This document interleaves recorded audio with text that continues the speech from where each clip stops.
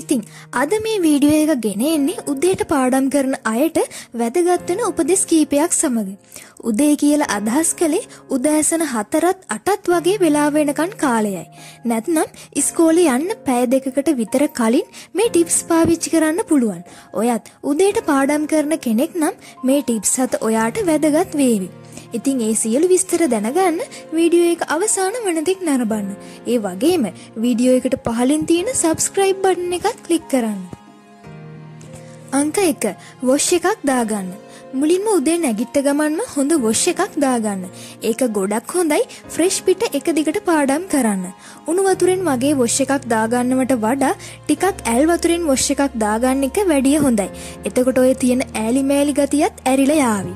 එක දිගට කම්මැලි නැතුව හොඳ අවධානයකින් පාඩම් කරන්න පුළුවන් එතකොට. අංක දෙක වතුර එකක් බොන්න.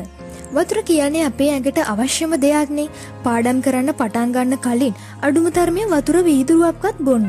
ඊට පස්සෙත් පැය භාගිකට සැරයක් හරි වතුර වීදුරුවක් බොන්න. එතකොටත් ඔයාට එක දිගට ඕනම දෙයක් පාඩම් කරන්න පුළුවන් කම්මැලි නැතුව. අංක තුන කම්මැලි නැති ඕනම විෂයක් පාඩම් කරන්න. ඔයාට උදේට කම්මැලි වගේ නැත්නම් ඕනම විෂයක් ඒ කිව්වේ අමාරු විෂයක් වුණත් පාඩම් කරන්න තෝරගන්න පුළුවන්. බ්‍රහ්මයාගේ කාලය කියලන කියන්නේ ඔය උද්දේ හත්තර පහ වගේ වෙලාවට ඒ වෙලාවට පාඩම් කරන දේවල් ගොඩක් මතක හිටිනව කියලත් කියනවන. අංක හතර පැය හයක නින්දක්. ගොඩක් අයි කියන විදියට පැය අටක් පමණ නින්දක් සාමාන්‍ය මනුස්සේට හොඳටම ඇති. ඊට වඩා නිදාගන්න නම් එපා. පාඩම් කරන දවසට. එතකොට කම්මෙලි ගතයකින් මිසක් ජවයකින් වැඩපටන් ගන්න බැරිවේ. අඩුවෙන් නිදාගන්නත් එපා. මොකද එතකොට බොරුවට නැගිට්ටත් අකමැත්තෙන්නේ පාඩම් කරන්න වෙන්නේ. එහෙම කරලා වැඩක් වෙන්නෙත් නෑනෙ. අංක පහ බඩ පුරව ගන්න.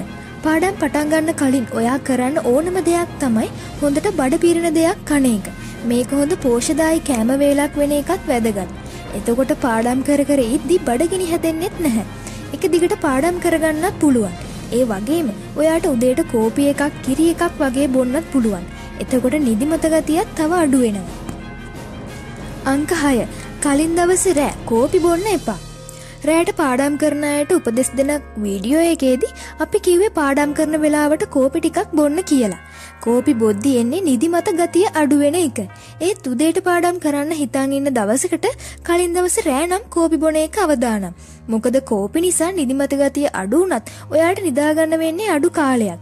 එතකොට පහුවදාට නැගිටින්නත් කම්මැලි හිතේවි. හැබැයි ඉතින් උදේ නැගිටලා කෝපි එකක් බිව්වට නම් කමක් නැහැ.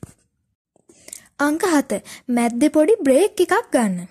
මේක නම් ඕන වෙලාවක පාඩම් කරද්දි කරන්න ඕන දෙයක්. පැය භාගයකට විනාඩි 10ක විතර පොඩි බ්‍රේක් එකක් ඔයාට ගන්න පුළුවන්. ඒ වෙලාවේ එළිය පොඩ්ඩක් ඇවිදින්න, සින්දුවක් අහන්න, පොඩි ස්නැක් එකක් ගන්න වගේ ඔයාට පුළුවන්.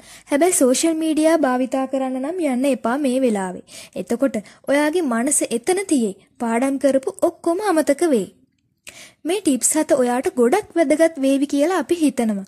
මේ වගේ ඔයත් දන්න ටිප්ස් ගැන අපිට කමෙන්ට් එකකින් කියන්න අමතක කරන්න එපා.